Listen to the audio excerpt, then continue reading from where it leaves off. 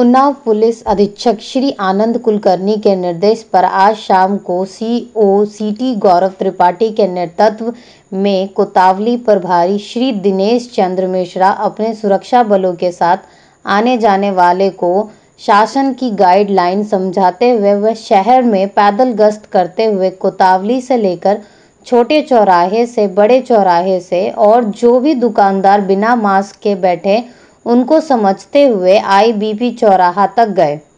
Bureau report साहित्य शुक्ला उन्नाव उत्तर प्रदेश।